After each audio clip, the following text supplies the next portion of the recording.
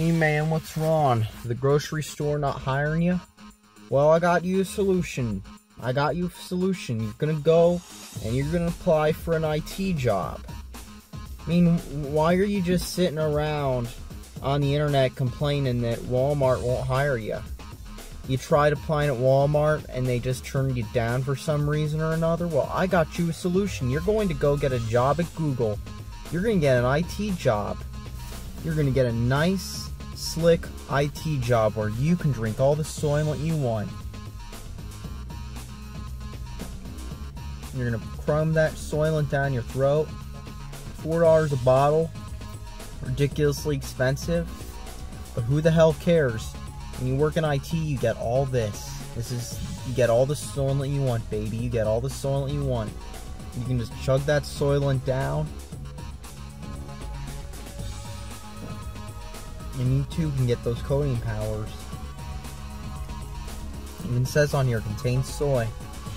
You're gonna get those Soylent powers, baby, from chugging all those Soylent bottles, and you're gonna be writing some code. Actually, you don't even need to write code, because you know how you get into the IT business. They keep telling you learn all this. They keep telling you go get some CompTIA or whatever. They tell you go get some certifications. Bullshit. You know how you get into the IT business? You gotta know a guy. You gotta know somebody. You gotta know that person who will get you in the business. And I've got the quickest way to get a job at Google doing a job of site reliability engineer where you get to do nothing but do a little bit of work here, there, and bitch on Twitter for the rest of the day. You too can be making big, you can make hand over, you could make like fistful of, fistfuls of dollars.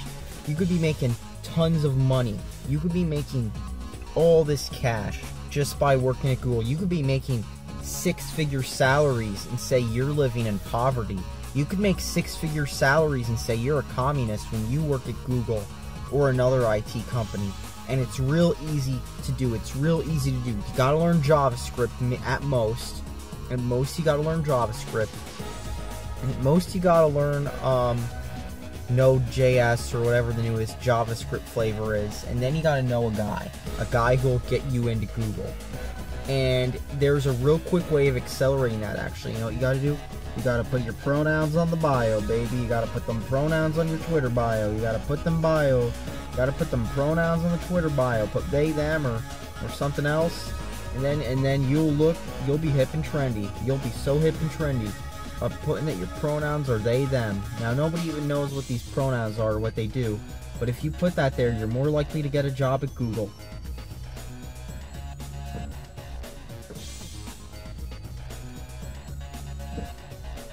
That's right.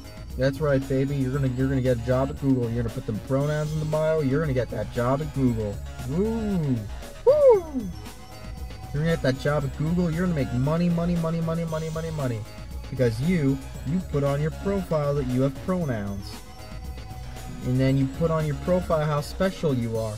I mean even though you're no you're, you're really not special when you got a million people who look and sound the same as you do you're so very special. You're so very special because you put them pronouns in your bio